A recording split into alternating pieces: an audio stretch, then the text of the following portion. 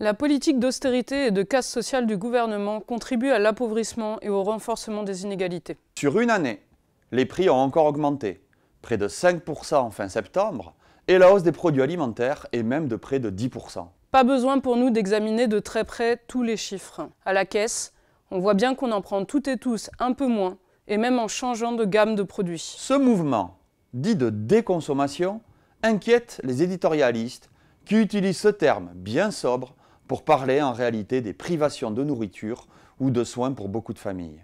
Pendant ce temps, les courbes de profit continuent d'augmenter. Les profits des entreprises des pays membres de l'OCDE ont grimpé de 21% sur les deux dernières années, alors que la part des salaires, elle, n'a augmenté que de 15%. Il faut dire que, dans un même mouvement, toutes les politiques économiques européennes, mises en place par des gouvernements de droite comme soi-disant de gauche, ont toutes consisté à libéraliser. Libéraliser, ça veut dire privatiser un certain nombre de services, comme par exemple les transports en commun, qui coûtent aujourd'hui bien plus cher aux usagères et aux usagers. Dans ce contexte, l'extrême droite continue de susciter la haine en stigmatisant toujours plus les réfugiés, les immigrés, les musulmans, bref, de promouvoir une société d'exclusion et de racisme. À l'opposé de ce cauchemar, le monde du travail est capable de porter des mesures de progrès, de solidarité, de justice sociale, pour une autre répartition des richesses. Nous n'avons pas réussi à battre la contre-réforme des retraites de Macron.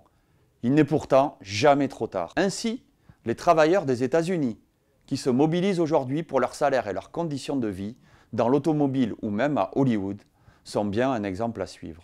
À l'appel de l'intersyndicale et de cinq organisations de jeunesse, le vendredi 13 octobre sera une première étape pour reprendre confiance en nous. L'occasion d'être à nouveau en grève si on le peut et de nous retrouver tous et toutes dans la rue. Plus que jamais, ceux qui vivent, ce sont ceux qui luttent.